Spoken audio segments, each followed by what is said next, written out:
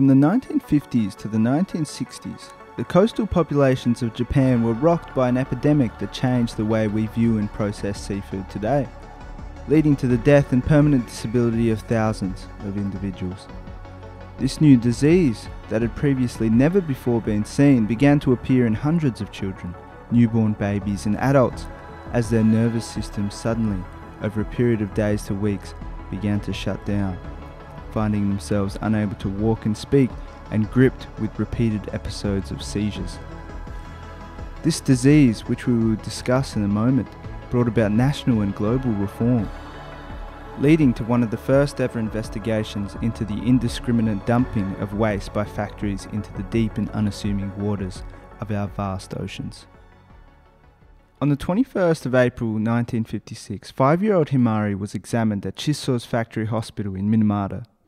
The physicians were puzzled by her symptoms. She had difficulty walking, speaking, and was experiencing severe convulsions.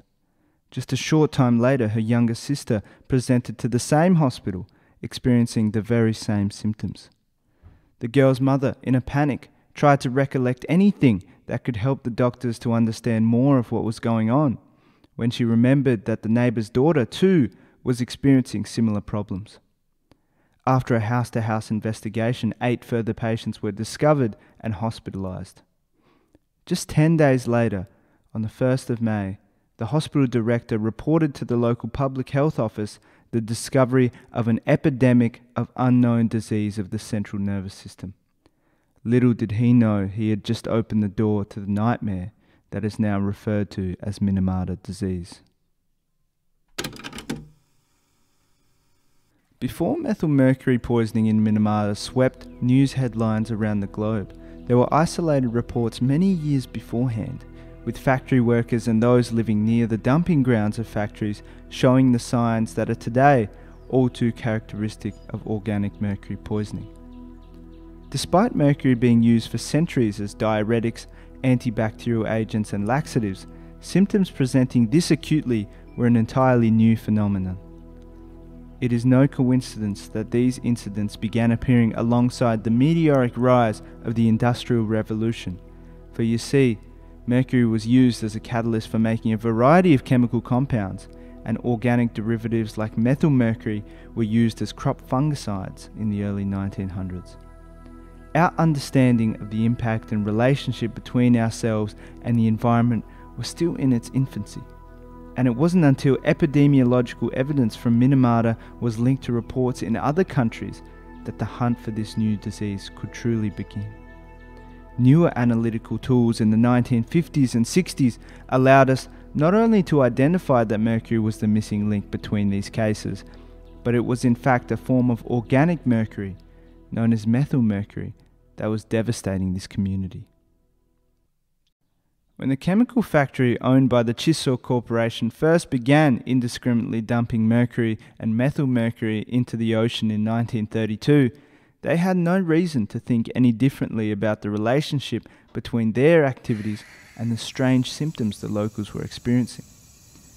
This was because it wasn't until the mercury entered the ocean that its true transformation began.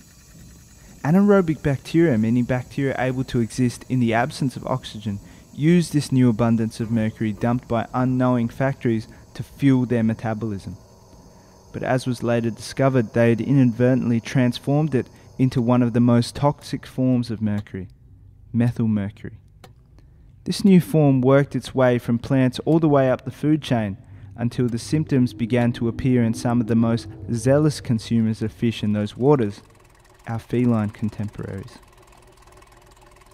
One of the key differences between elemental and methyl mercury is its bioavailability. You see, only 2% of mercury is absorbed into the gut, requiring much higher doses to produce the same toxic effects as methyl mercury, of which almost 90% is absorbed into the bloodstream. As the methyl mercury moved through the bloodstream, no organ was left untouched. In the central nervous system, it acted primarily to overactivate NMDA receptors at the ends of neurons, causing tremors, an inability to coordinate voluntary movements known as ataxia, and progressive insanity. In babies, the neurons were unable to even find and form the basic neural pathways to facilitate normal healthy cognition. The damage to the peripheral neurons led to tremendous burning pain, accompanied by a progressive weakness in limb movement. This constellation of symptoms, along with the signs of direct kidney toxicity, is what made Minamata one of the most famous and deadliest examples of how our indiscriminate dumping of waste into the oceans has come back to haunt us. Looking back, some of the villagers may have considered the dying gasps and screams of the local cats as an early warning sign of things to come. Babies in utero were the worst affected. Not only were they more sensitive to the neurological damage, they also continued to be exposed to the mercury through their mother's breast milk, more or less sealing their fate. Now we return to 1956 as Hamari was put on a respirator and given supportive therapy as her muscles and movements continued to remain uncontrollable. Urine and blood tests showed signs of mercury, and this is where the formulation of the doctor's hypothesis began. As the fears within the community rose, some victims that began to show symptoms decided to hide them, with rumours circulating that it was in fact contagious, which led to further isolation of those afflicted by the poisoning.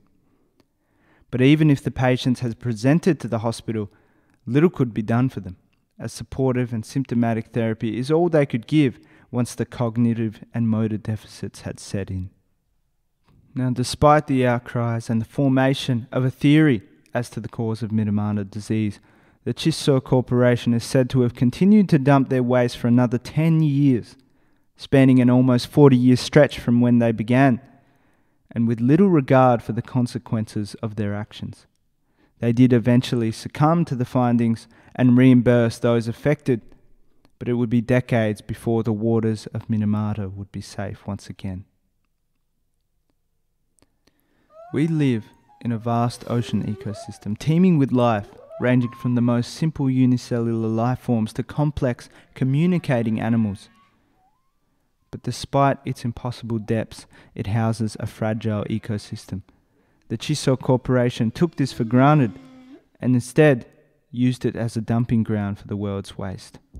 They alone, however, are not the sole perpetrators, and the responsibility falls partly upon us to dispose and find ways to manage our waste effectively.